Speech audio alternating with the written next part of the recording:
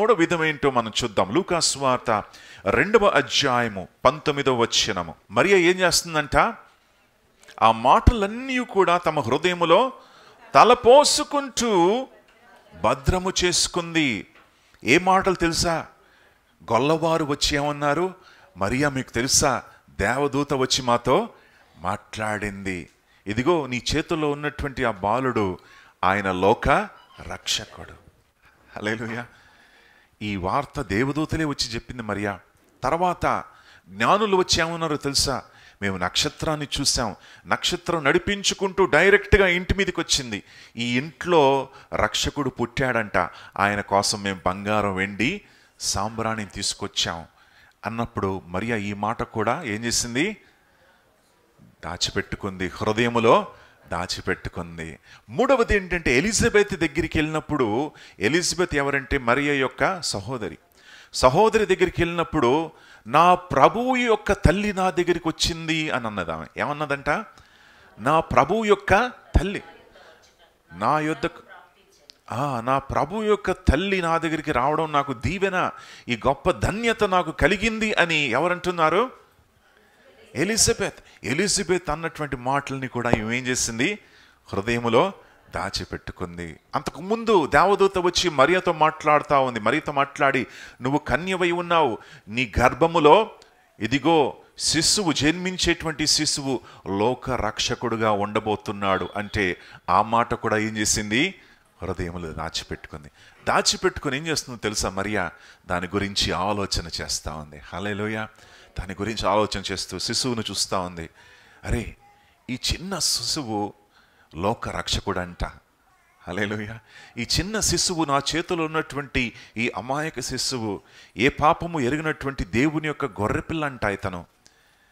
ఇతను లోక రక్షకుడంట అని ఈ విషయాలన్నిటి గురించి మరియ ఏం చేస్తుందంటే తన మనస్సులో అనలైజ్ చేసుకుంటూ ఆలోచిస్తూ మనస్సులో భద్రము చేసుకుంటా ఉంది. హలేలుయ సో ప్రియులరా మరియ వలె మనం ప్రతిస్పందించాలి. ఏం చేయాలి చెప్పిన వాక్యాన్ని మీరు మనస్సులో తీసుకోవాలి. ఒక చెవి నుండి మరొక చెవి నుండి విదిలి వదిలివేయకుండా మీ మనస్సులో పెట్టుకొని ఆలోచించండి. థింక్ అబౌట్ ఇట్ దాని గురించి ఆలోచించండి. ఏసయ్య నిజంగా లోకరక్ష కూడా అవునా? ఇంటికి వెళ్ళి బైబిల్ని చదవండి. ఇంటికి వెళ్ళి ఇతరులను అడగండి. Speak to somebody talk to them remember what I'm preaching నేను చెప్పేటువంటి మాటలన్నీ కూడా జ్ఞాపకం చేసుకోండి. మరియా వలె తలపోసుకొని మరచిపోకుండా వారి గురించి మీరేం చేయాలి? ధ్యానించినట్లయితే మీకు దీవెన ఆశీర్వాదము ఉంటుంది. హలెలుయ దేవునామానికే మహిమ కలుగునుగాక ఏసయ్య లోకానికి వచ్చినప్పుడు శిశువు వలె ఆయన వచ్చాడు. ఎవరు కూడా గుర్తుపట్టలేదు. ఆయన మరి పొత్తి గుడ్డలతో చుట్టబడ్డాడంట. గమనించండి పరలోకములో ఆయన వస్త్రములు ఆ యొక్క ఏమంట? ఆ యొక్క మం మందిరపు ఆయన వస్త్రపు చెంగులు మందిరమంతా నిండిపోయిందంట. హల్లెలూయ. సో దేవుడు పరలోకములో ఆ దృశ్యాన్ని చూసినప్పుడు ఆయన వస్త్రపు చెంగు it just filled the temple మందిరం అంతా కూడా నిండిపోయిందంట. ఆ దేవాది దేవుడే పొత్తి గుడ్డలతో చట్టబడ్డాడు. హల్లెలూయ. అంటే ఎంతగా దీనంగా దేవుడు తగ్గి తను తాను తగ్గించుకున్నాడండి. ఎంతగా తన జీవితంలో హ్యూమిలిటీ అనేది మనకు చూపించాడనేది మనం ఆలోచించాలి కదా? ఆ ఏసైని మనం చూస్తే సాధారణమైనటువంటి బాలుడు అని అనుకుంటాం కానీ ఆయన నిజంగా సాధారణమైనటువంటి బాలుడు కాడు. ఆయన ఎవరంటే? దేవాది దేవుడు.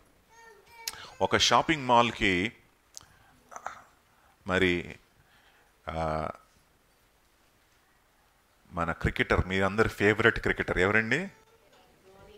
ఎవరు చెప్పారు? ఎవరు చెప్పారు అది అందరి మాటల్లో అందరి నోట్లో ఒకటే ఉంది. సిస్టర్స్ ఎవరంటే అందరు ధోని అంటారు కదా. ఈ ధోని అనే క్రికెటర్ మరి ఎక్కడికి వెళ్ళినా అందరు మీద పడతా ఉన్నారు. ఎక్కడికి వెళ్ళినా సరే అందరూ ఆటోగ్రాఫ్స్ అడుగుతా ఉన్నారు. ఫోటో నాకు అసలు నా షాపింగ్ చేయడానికి అవకాశమే రావట్లేదు. ఏం చెయ్యాలి అని తన భార్యని అడిగాడంట. అడిగితే ఆమె ఏమందంటే నువ్వు మారు వేషం వేసుకొని వెళ్ళు ధోని. అప్పుడు ఎవరు కూడా గుర్తుపట్టలేరు నిన్ను. నువ్వు వెళ్ళు అలా మారు వేషం వేసుకొని అమ్మాయి వేషం వేసుకో. నీకు ఎట్లయినా పొడుగ్గా జుట్లు ఉన్నాయి కాబట్టి ఆ జుట్టుతో పాటు నువ్వు అమ్మాయి వేషం వేసుకుంటే బాగుంటుందని చెప్పి అతన్ని పంపించింది. ఈయన సరే అనుకొని అమ్మాయి వేషం వేసుకొని వెళ్ళాడు. వెళ్ళి షాపింగ్ మాల్ అంతా కూడా షాపింగ్ చేసేసాడు. చక్కగా ఎవరు కూడా గుర్తుపట్టలేదు. ఎవరికి కూడా తెలియదు. తెలియకుండా వచ్చి షాపింగ్ మాల్లో కూర్చొని ఆయన లాస్ట్ కౌంటర్ దగ్గరికి వచ్చాడు. కౌంటర్ దగ్గరికి వచ్చి బిల్ పే చేయడానికి సిద్ధమైపోయాడు. ప్రక్కన ఇంకో వ్యక్తి వచ్చి హాయ్ ధోని అని అన్నాడంట. ఏమన్నాడు? ఇంకో వ్యక్తి వచ్చి హలో ధోని అన్నాడు. ఇతను చూసి ఇదేంటి? ఎవ్వరు ఇప్పటి వరకు ఎవరు కూడా నన్ను గుర్తుపట్టలేదు. నువ్వు గుర్తుపెట్టేసావేంటి ఎవరు నువ్వు అంటే ఐఎమ్ యువరాజ్ సింగ్ అన్నాడంట. ఎవరంట? ఆ వ్యక్తి ఎవరు? అమ్మాయి వేషం వేసుకున్నటువంటి మరొక వ్యక్తి ఉన్నాడు అక్కడ. అదెవరు? యువరాజ్ సింగ్ అంట. చూసారా? దేవుడు లోకానికి వచ్చినప్పుడు ఆయన శిశువులే వచ్చాడు. ఎవరు కూడా గుర్తుపట్టలేదు. కొంతమంది మాత్రమే గుర్తుపెట్టారు. యోహాను సువార్త మొదటి అధ్యాయంలో ఆ మాటలు ఉన్నాయి. John chapter one. లోకము ఆయనను తెలుసుకొనలేదు. లోకాన్ని లోకము ఆయన గుర్తుపట్టలేకపోయారు. People were not able to recognise him ఎందుకంటే శరీరధారిగా ఆయన లోకానికి వచ్చాడు. కొంతమంది ఆయన చూసి అరే మీ తల్లిదండ్రులు నాకు తెలుసే అని అన్నారు. కొంతమంది అతను చూసి అరే నువ్వు నజరత్లో ఉండేవాడవే? నాకేం చెప్తావు? అని చెప్పారు. సో ఈ రీతిగా మరి అనేక విషయాలు వీరు మరి ఎవరు కూడా అతన్ని గుర్తుపట్టలేకపోయారు. కానీ ఎందరైతే గుర్తుపట్టారో వారికి ఏమిచ్చాడంట దేవుని కుమారులగుటకు దేవుని పిల్లలగుటకు ఆయన మనకు అధికారాన్ని ఇచ్చాడు. నువ్వు ఏసైని గుర్తుపట్టావా? హ్యావ్ యూ రికగ్నైజ్డ్ హిమ్ నీ ఏసై ఎవరో నువ్వు గుర్తుపట్టావా? ఆయన మంచి మతనాయకుడు కాదు. Is not a good moral teacher ఆయన కేవలం అద్భుతాలు చేసేటువంటి వాడు కాదు. ఆయన లోక రక్షకుడు. మరియాను కూడా రక్షించేటువంటి దేవుడు ఆయన. హలెలుయా మరీ అతన్ని గర్భం ధరించింది కానీ మరియకు కూడా ఏం కావాలి? రక్షణ కావాలి. హలోయ అందుకే ఇంగ్లీష్ ఒక చక్కటి పాట ఉంది. Mary did you know? తెలుసా? Mary did you know? The baby boy the baby your holding is your saviour. నువ్వు ఎత్తుకున్నటువంటి ఆ బాలుడే నిన్ను రక్షించేటువంటి దేవుడు ఆయన. హలేలుయ మరియా నువ్వు ముద్దు పెట్టుకున్నటువంటి ఆ బాలుడే ఆ దేవాది దేవుడు.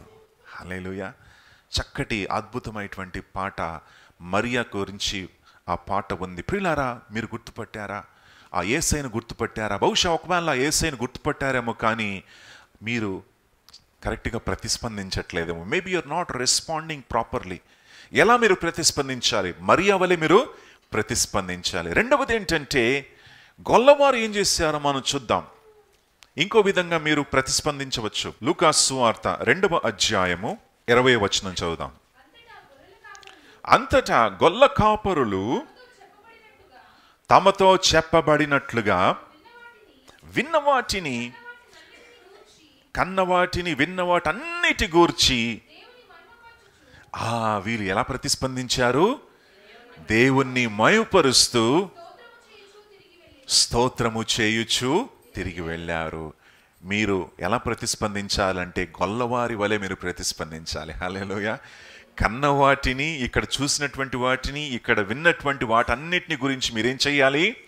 ప్రభువును స్థుతించాలి హలలోయ ఆ ఏసైను మయంపరచాలి. ఆయన స్థుతించి ఆయన మయంపరిచి కన్న వాటి గురించి విన్న వాటి గురించి దేవుని స్థుతించి మీరు ఇక్కడి నుండి తిరిగి వెళ్ళాలి. హలలోయ కనుక ఏసయ్య మీ రక్షకుడుగా మీరు అంగీకరించి ఆయనను మీరు స్తుతించి సంతోషముతో మీరు తిరిగి వెళ్ళాలి. ప్రియులారా గొల్లవారి వలె మనము ప్రతిస్పందించాలి. గొల్లవారి వలె మన హృదయాలను ఏసయ్యకు మనము సమర్పించాలి. పరిపూర్ణంగా ఆయనకు సమర్పించి మనము మన హృదయాల్లో ఏసయ్యను మనం అంగీకరించి మనం మర్యావలే ప్రతి విషయాన్ని కూడా మనం భద్రపరచుకోవాలి. హలెలుయ భద్రపరుచుకొని ఆ మన హృదయాల్లో ఏసయ్యను మనము మరి ఆయన పట్ల మనం ప్రతిస్పందించినట్లయితే నిజంగా క్రిస్మస్ మనకేముంటుంది?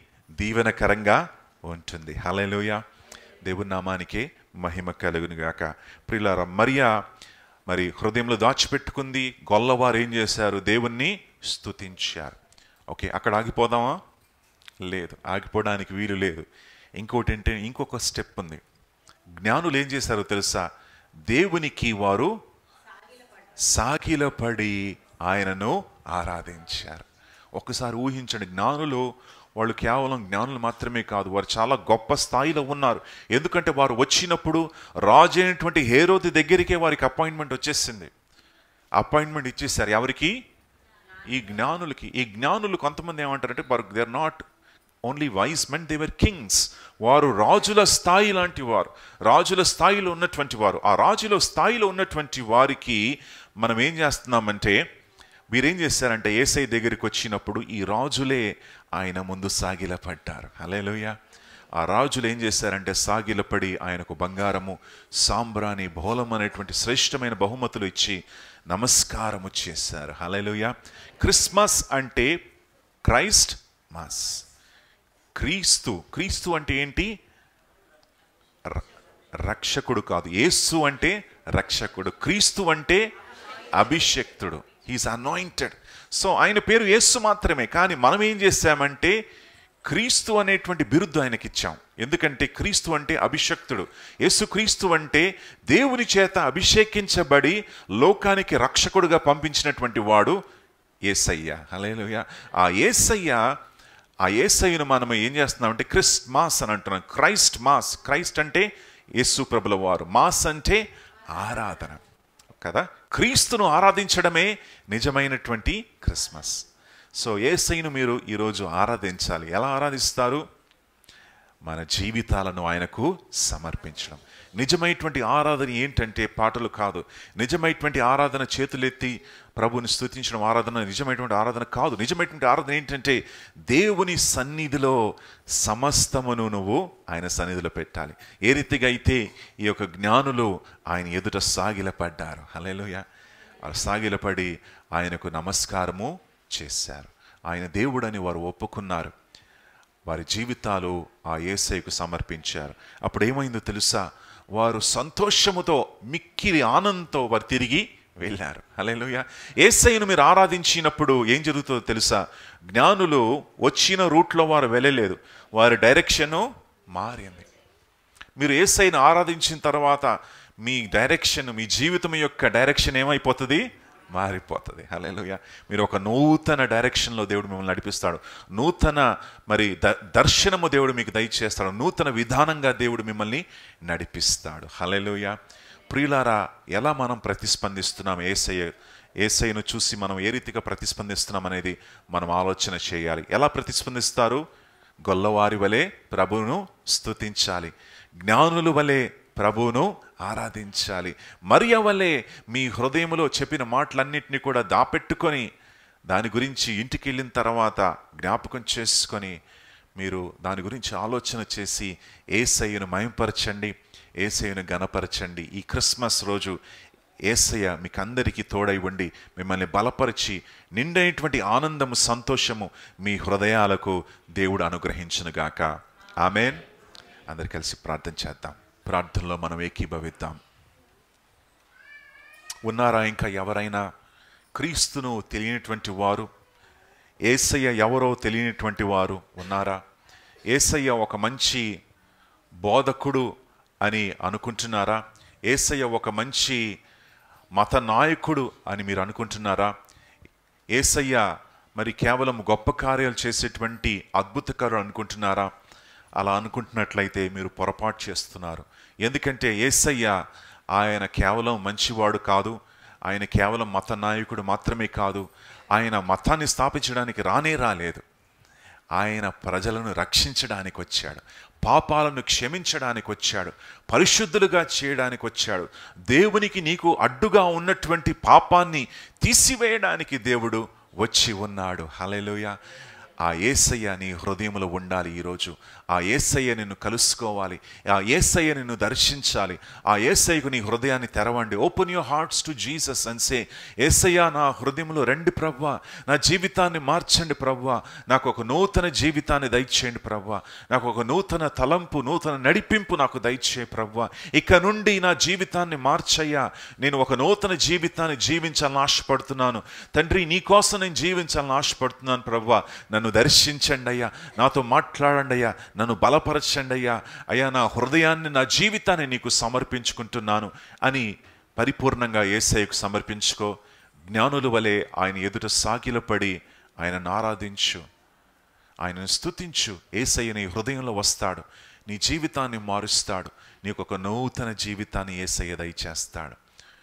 అలా ఉన్నటువంటి వారు ఉన్నట్లయితే మీ కుడి చేయి ఏసైకి చూపించండి. ఎవరైనా ఏసయ్య నా జీవితంలో నువ్వు రావాలి నా జీవితాన్ని నువ్వు మార్చాలి నాకు ఒక నూతన జీవితాన్ని దయచే ప్రవ్వా అని అన్నటువంటి వారు ఉన్నట్లయితే మీ కుడి ఏసై వైపు చూపించినట్లయితే మీకోసం ప్రార్థన చేస్తాను. I will we will pray together for you కలిసి ప్రార్థన చేద్దాం.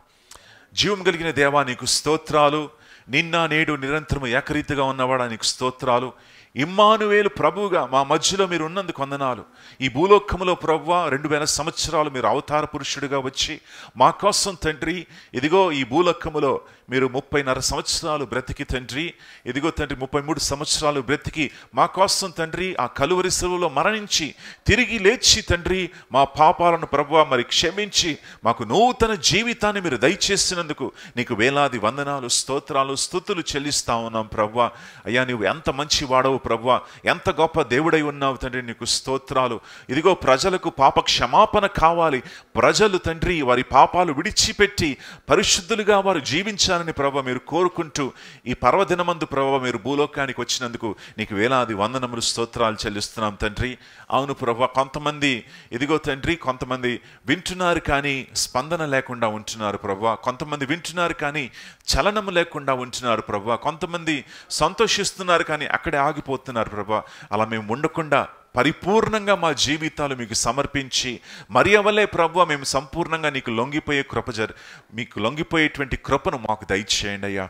ఈ మధ్యాహ్న సమయము ఈ శ్రేష్టమైనటువంటి సమయాన్ని మాకు ఇచ్చినందుకు వందనాలు. నీ బిడ్డల్ని ప్రభు మీరు దర్శించినందుకు వందనాలు. నీ బిడ్డలతో ప్రభు మాట్లాడి మీ బిడ్డలు బలపరచండి అయ్యా. వారి జీవితాల్లో నూతన కార్యాలు జరిగింప చేయండి అయ్యా. ఈ యొక్క టూ థౌజండ్ ట్వంటీ త్రీ ప్రభ మాకందరికీ దీవెనకరమైనటువంటి సంవత్సరంగా ఉండులాగున సహాయం చేయండి. ట్వంటీ ట్వంటీ ఫోర్లో ప్రభు నూతన కార్యాలు జరిగించి మీ నామానికి మహిమ తెచ్చుకోవాల్సిందిగా కోరుకుంటున్నాను. ఈ చక్కటి సమయాన్ని సందర్భాన్ని మాకందరికి దయచేసినందుకు నీకే వేలాది వందనములు స్తోత్రాలు స్థుతులు చెల్లిస్తా ఉన్నాం. ఏసయ్య పేరట ఈ స్థుతి ఆరాధన ఈ యొక్క తండ్రి వర్తమానము సమస్తమును తండ్రి ఈ యొక్క సమయాన్ని నీ చేతిలో సమర్పిస్తూ ఏసై నామంలో మనవి చేస్తున్నాము తండ్రి. ఆమెన్. ఆమెన్. ఆమెన్.